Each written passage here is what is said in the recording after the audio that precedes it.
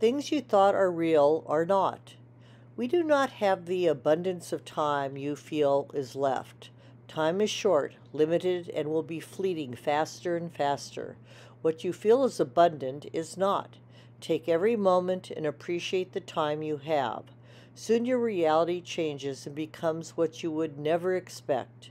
Things you thought were real are not, and things you thought are fairy tales will emerge as reality. Grasp onto the only truth you can rely on I am. For I will be there to help you find your way to my kingdom if asked. Is something real just because you were taught it is a certain way? Is it real because it is what most people believe? What would happen if reality were not at all what you think and believe?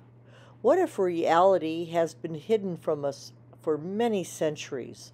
What if real to one person may not be real to the next.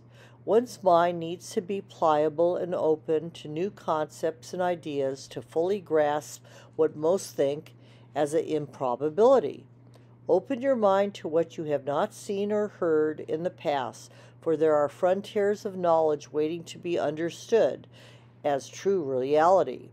Man cannot be counted on, for most are of the flesh and not of the spirit.